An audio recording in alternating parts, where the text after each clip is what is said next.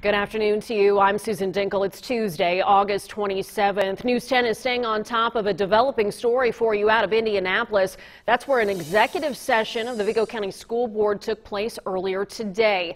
Last week, we received notice of the executive session from the superintendent's office. News 10's John Swanner made the trip to Indianapolis to see what he could find out about this meeting. Behind me is the Salesforce building in downtown Indianapolis, also the site of Tuesday's executive session of the Vigo County School Board. Now, when I first posted that we would be at this meeting, a lot of you asked, why is this board meeting taking place so far from Vigo County?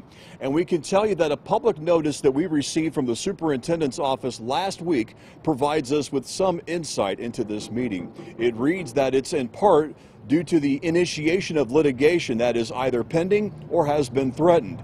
The meeting's purpose is to also train school board members with an outside consultant about the performance of the role of members of public officials. We can also tell you that this building is the home of the law firm Bose McKinney and Evans, which does represent the school corporation on some events.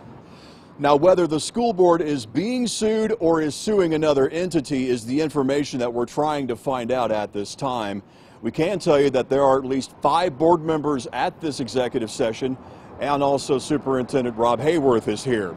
Now, we are also trying to work all of our sources to get you more information. As is often the case with executive sessions, our information right now is very limited, but trust us that we are trying to get as much information for you as possible and we'll bring it to you as soon as it becomes available. For now, in downtown Indianapolis, I'm News 10's John Swanner. Back to you.